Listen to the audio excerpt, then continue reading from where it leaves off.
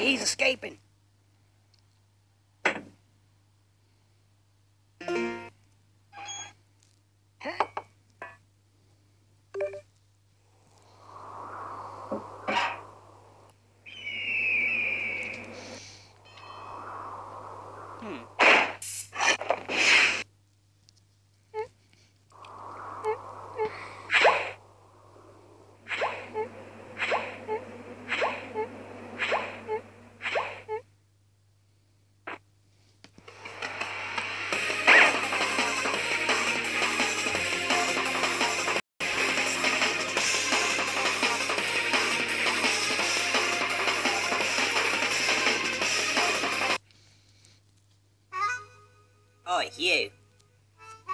Free to go. Not really.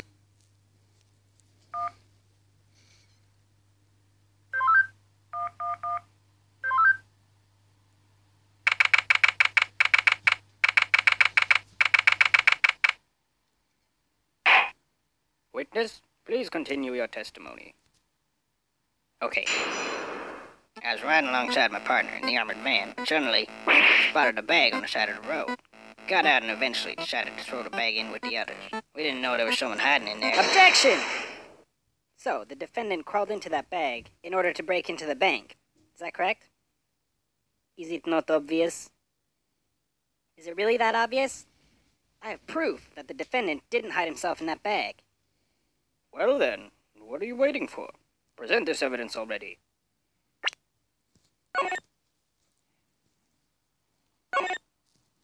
Take that! Is, is that the bag the defendant hid in? Yes, but there's one thing that's been bothering me. If the defendant really was hiding in this bag, then. How did he tie the knot from the outside of the bag? What? If he was inside the bag, it'd be impossible for him to tie that knot on the outside. But then, how did he do it? It's simple. He didn't. What are you saying? I'm saying my client wasn't hiding in that bag at all. He was stuffed in there. By this very witness! What? As you can see by this doctor's analysis, the defendant had taken quite the beating. While he was in the bag, he was unconscious. Th- This is absurd. The witness was attempting to dispose of the body.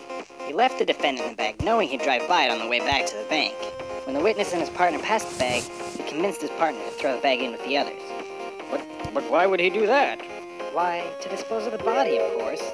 There are millions of bags of money in that bank, and the witness knew it would take a long time before the victim was found. But unfortunately for the witness, his victim woke up and tried to escape from his tomb.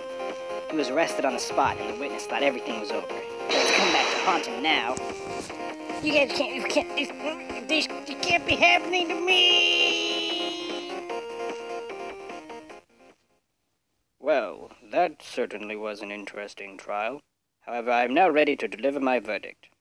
I find the defendant, Henry Stickman,